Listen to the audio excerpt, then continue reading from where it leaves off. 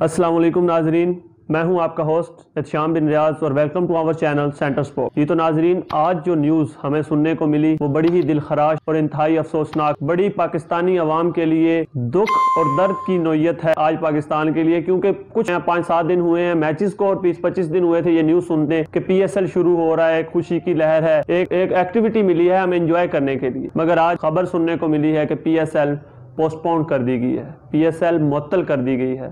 پی S L نہیں ہوگی، کچھ دن یا کچھ مہینے یا ایک سال۔ اس کے پیچھے فیکٹرز ہیں۔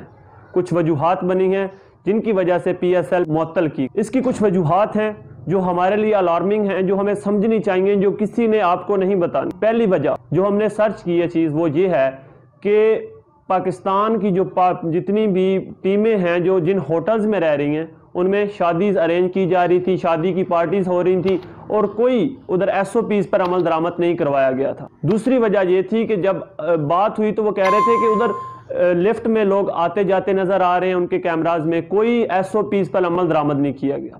تیسری وجہ کہ شاہد افریدی بیان کر رہے ہیں کہ ایک ایسے کرونا پوزیٹیو پلیئر تھے، کھلاڑی تھے جنہیں وارم اپ میچ کھلایا گیا، جس کی وجہ سے یہ کرونا وائرس پھیلا۔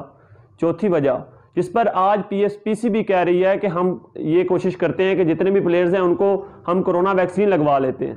کرونا ویکسین پلیئروں کو اب لگوانے کی بہتر تھا کہ آپ پہلے ان کو کرونا ویکسین لگوا لیتے۔ آج یہ سینیریوز یہ سچویشن ہمیں نہ دیکھنی پڑتی۔ آج انتظامیہ کا اور پی سی بی کی جتنی بھی فرنچائزز کے ہیڈ ہیں، ان کا اجلاس ہوا ہے اور اس میں یہ فیصلہ کیا گیا ہے کہ یہ میچز ایک بار پوسپون کر دیے جائیں، ملتوی کر دیے پی ایس ایل یہ آپ دیکھ لیں کہ ہمارے ساتھ کیا ہو رہا ہے۔ انتظامیہ نے بالکل بھی فوکس نہیں کیا۔ دو دن پہلے، دو دن پہلے اسلام آباد کے تین پلیئرز میں کرونا پوزیٹیو آیا ہے۔ اس کے بعد پھر میچ ہوا ہے کل۔ تو کوئی ایس او پیس نظر نہیں آ رہی تھی میچ میں، جس کا نتیجہ آخر کیا ہوا ہے۔ پی ایس ایل پوسٹ ہو گیا۔ اس میں آپ انتظامیہ کو قصوروار ٹھہراتے ہیں۔ اس میں آپ فرینچائزز کو قصوروار ٹھہراتے ہیں۔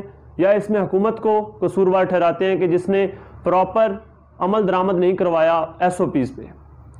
جس کی وجہ سے اب اس کے سائیڈ فیکٹس یہ ہوئے ہیں کہ حکومت نے جی ایک اجلاس بلایا جس میں وہ کہہ رہے ہیں کہ پندرہ مارچ اجلاس ہوگا، جس میں یہ دیکھا جائے گا جو تمام تعلیمی ادارے ہیں، انہیں بند کر دیا جائے۔ اس کا یہ سائیڈ فیکٹ آ گیا۔ دو چار لوگوں کو ہوا ہے۔ وہ پہلے بھی رہا ہے لوگوں کو، مگر ویکسینیشن نہیں کی گئی ایس او پیز پر عمل درامد نہیں کیا گیا، جس کی وجہ سے اب ملک کو زیادہ نقصان ہوگا۔ تو آپ اپنی قیمتی رائے ہمیں دیں۔ کمنٹس میں آئیں ہماری ویڈیوز کو شیئر کریں۔ بہت شکریہ۔